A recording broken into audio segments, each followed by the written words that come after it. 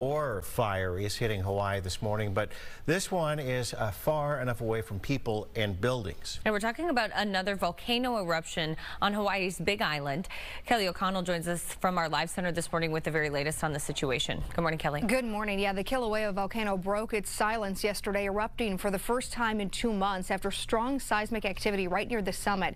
In fact, here is a live look at the crater as lava spews out of the ground. You see it there. The U.S. Geological Survey live streaming the eruption on its YouTube page. Now, fortunately, the lava is confined within that crater, so there's no lava threat to communities, as you mentioned. But the Hawaii Volcano Observatory says Kilauea's gases might cause downwind volcanic smog, which could create breathing problems for folks in that area. Now, the volcano last erupted in June of this year, displaying fountains of red lava for weeks. You may remember that. Crowds of people flocked to Hawaii's Volcanoes National Park so they could look from a safe distance.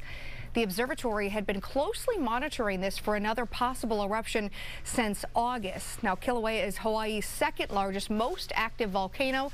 An eruption back in 2018 destroyed hundreds of homes. But again, the good news here, not likely to get any closer to people or property. Guys, back to you.